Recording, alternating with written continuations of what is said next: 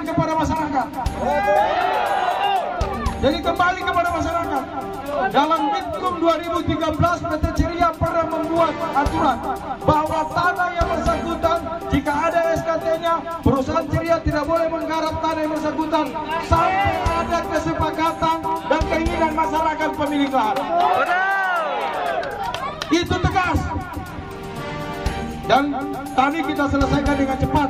Ikan sikap, ikan gabus. Lebih cepat, lebih bagus. Bukan ikan sikap, ikan lele. Lebih cepat tele-tele. Pantau kepada kami, kita akan lihat itu. Dari hasil keputusan ini, saya berserta Ketua Komisi 3 dan anggota Komisi 3. Ada Ketua Komisi 3 Swandi Andi, anggota Komisi 3 Aksan, ada anggota Komisi 3 Irfani, ada anggota Komisi 3 Kasriadi, dan staf kita itu di sini. Setelah pulang kami di Kendari akan kita buat rekomendasi keputusan itu. Serahkan kepada keterwakilan ini. Jadi tidak boleh ada yang merasa kuat, tidak boleh rasa menang. Masyarakat silakan bekerja, bertani lagi, menggarap lahannya. Tidak boleh ada provokator di sini. Tidak boleh ada mengganggu pelaksanaan PT Ceria. Tetapi hak kalian harus dijunjung tinggi. Tidak ada yang kuat di mata hukum. Semua sama di mata hukum.